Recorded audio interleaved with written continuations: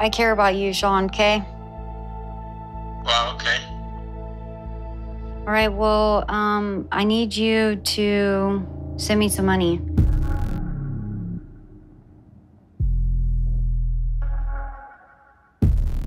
Why should I send you the money? You don't even talk to me and packed up all your in the middle of the night and just left. I'm not saying that that's what it is. I'm just saying that right now I need a break.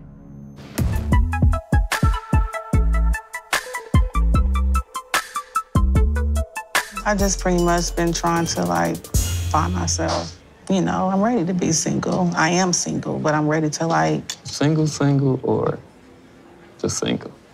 I'm single, single. Okay. we should do this more often. yeah, we should. We can have a second date. Even though we ain't finished this one. No, I would love to.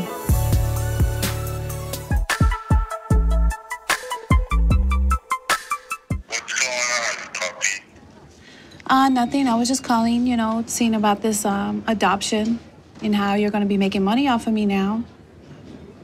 Well, I'm not doing that. I kind of feel like that was a mistake. I'm thinking about reversing the adoption.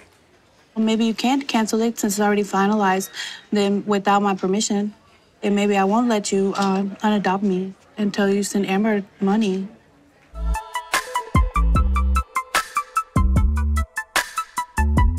Is Shantae gonna come with us on our family trip because she's our family? How do you know about Shantae?